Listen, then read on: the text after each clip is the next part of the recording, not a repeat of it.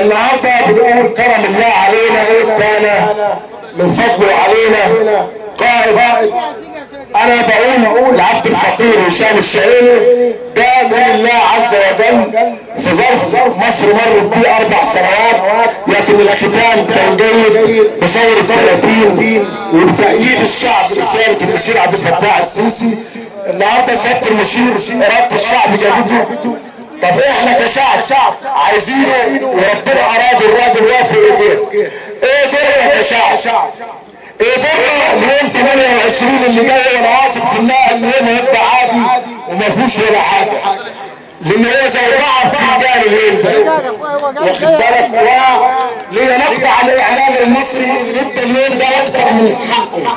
وأكتر من حقه إن الشارع نفسه قبل الجيش وقبل الشرطة هيكون واقف في مكانه وهي حارس المكان وكل واحد حارس شرعه قريته بيته. لأن مصر بيعطيها فتاة الرجاله المحترمين النهارده من هنا هنا من الشرقية معبر القضايا العربية بنقول المجلس بدايته كويسة. لكن لازم نحط معيارين لعمل المجلس الكفاءة والوطنية. هم المعيارين الأساسيين لأي عمل أو أي شيء ينجح. كل قبيلة في مصر فيها الكفاءة وفيها الوطنية. لأن كلنا ما حدش هيزايد على حد في وطنيته لكن العين الصيبة اللي بتنقي للشيء المعين تتقي الله في مصر وما تجاملش.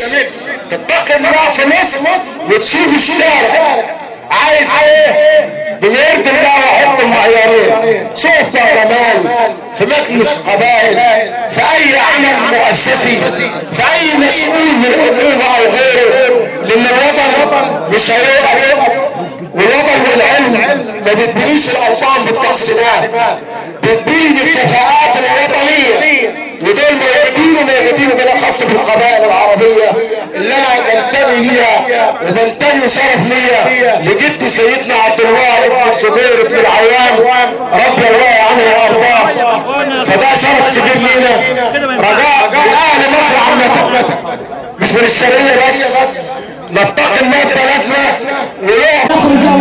هذه الدعوة طبعا هي دعوة لتمزيق الأمة. ونقول لهم انظروا إلى ما حدث من أمثال هذه الخروجات في القديم. لقد خرج يوم من الأيام على الإمام علي من رفع المصاحف وهذه سنة لا تكن سنة إلا للخارجين. فكيف تؤيدون بنفس الرمز؟ وتحتكمون بنفس الصورة للخروج على من هم أمنوا هذا البلد من بعد ما احتاطت به حوائط الفتن واحتاطت به صقور التمزيق. فنحن الآن يا, يا أبناء مصر لا نقول إلا إنكم أنتم أبناء مصر. اتقوا الله في هذا البلد. نحن نحتاج إن, أن يقف هذا البلد على أقدامه. نحتاج إلى أن يجمع لحمة هذا البلد على كلمة فيها أمن وأمان الأمة العربية والأمة الإسلامية. إحنا الإسلام في قلوبنا جميعا والإسلام في عقولنا جميعا والإسلام في مسارنا جميعا. فليس الإسلام بأن يرمز له بطائفة ولا يرمز له بجمع يعني بفكر معين. وإنما الإسلام هو دين لا إله إلا الله محمد رسول الله الذي تدين به كل هذه الأمة. ولا ولا للطائفية إلا تمزيق هذه الأمة. فنحن نحتاج لتوحد الصف ونحتاج أن نعود إلى مائدة الإسلام الحقيقي وإلى مائدة الإسلام الناصعة. القوية التي يجتمع عليها كل مسلم من مشارق الأرض ومغاربها تعالوا إلى ثوابت الإسلام إلى ثوابت لا إله إلا الله محمد رسول الله. إن أردتم الإسلام وإن أردتم طريق الحكم أو أردتم غير ذلك فتوجهوا إليه بالمسار الذي يسايره لا تخلطوا أمر الدنيا بالدين. إن أردتم الدنيا والسياسة فلها دربها ولا نخلقها. ب ب ب فكلنا مسلمين فلا فلا يغالي أحد بإسلامه على أحد. فكلنا مسلمين وكلنا موحدون وكلنا قائمون على وسطية الإسلام التي يرتضيها كل من قال لا إله إلا الله محمد رسول الله. والإسلام لا مغالاة ما شاد أحدكم الدين إلا غلبه. فنحن نحتاج إلى وحدة الصف الإسلامي وحدة الصف العربي وحدة الصف الآدمي. نحن نحتاج أن يحترم كل منا آدمية أخيه ثم يحترم كل منا يعني قوامة أخيه ثم يحترم كل منا دين أخيه آه، فالإسلام لم يأتي إلا لوحدة ال- ال- الكون الإنساني ولم يأتي الإسلام لتمزيق الأمة الإسلامية أو أو الأمة الإنسانية. ف ترى أن هذه الدعوات تؤثر في استقرار مصر وأمنها؟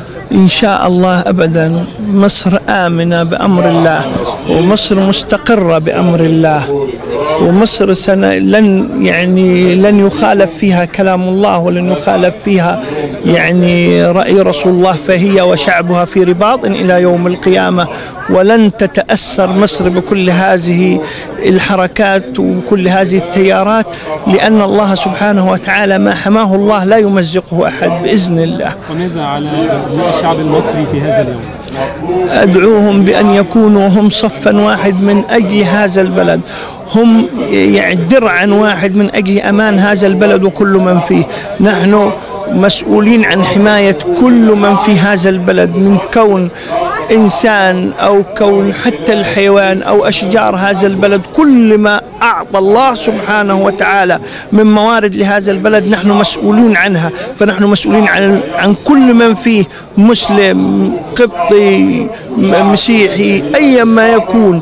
فلا تمزيق فلا نمزق الأمة في لا نمزق الإسلام برايات طائفية داخل الإسلام.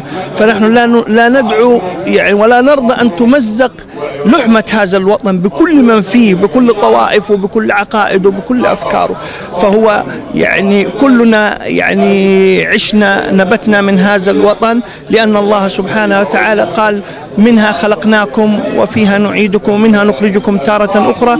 فكل من يقطن في هذا الوطن هو نبت من أرضه. فله لهذا الوطن حقوق عليه ولهذا الوطن واجبات عليه ولا بد أن نكون يعني من لم يعرف لل- للخلق حقهم ما عرف لله حقه. فربنا يؤمننا بأن نعرف ما لنا وما علينا ونجتمع على خير ما فيه إن شاء الله. دائما المصريين لديهم العاطفة الإسلامية. نعم. ألا ترى أن مطالبة الخارجين اليوم 28 ديسمبر وخاصة آه، مطالبتهم برفع المصاحف على سنة الرماح. رأي حضرتك في في هذا أقول أن هذه يوم من الأيام كانت باب من أبواب الفتنة السابقة. فكيف نحزو بحزو أهل الفتن مرة أخرى؟ فكتاب الله في قلوبنا وكتاب الله في عقولنا وكتاب الله في مسار استرشادنا به. فكيف نرتضي أن يكون كتاب الله مسار لتقسيم من أمر الله سبحانه وتعالى في هذا الكتاب ونعتصم بحبل الله جميعا ولا تفرقوا. أمرنا الله بتوحد على كتابه، فكيف نأخذ من الكتاب ما يقسم هذه الأمة؟ كلمة أخيرة توجهها لأبناء الشعب المصري في هذا اليوم انتبهوا من الفتن التي تحاك بهذا الوطن انتبهوا من الفتن التي تحاك بالأمة العربية. إذا سقطت مصر سيتساقط من ورائها كل ما هو فيه وحدة هذه الأمة العربية. فانتبهوا من أجل دعوة لا إله إلا الله التي يتشدق البعض بأنه ينصرها.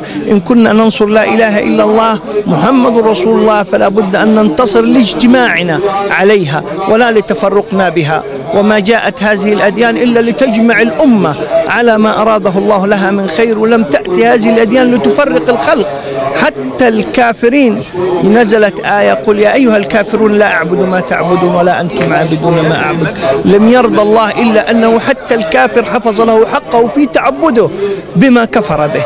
فكيف يعني نمزق بعضنا بعضا على ما احتكمنا فيه من كتاب الله وما حكمنا فيه حضرتك مع أم ضد خروج المسلمين اليوم؟ طبعا أنا لا يعني لا يمكن مش أنا أي صاحب عقل أو صاحب رشد أن يرضى بخروج المصريين في هذا اليوم لتمزيق لحمة هذا البلد ولتخريب مقدراته التي وصل إليها إحنا عايزين نحافظ على كل ما وصلنا إليه ونرتقي به لنماء أعظم وأكبر من أجل استقرار هذا البلد واستقرار الأمة العربية إن شاء الله. أكرمكم الله.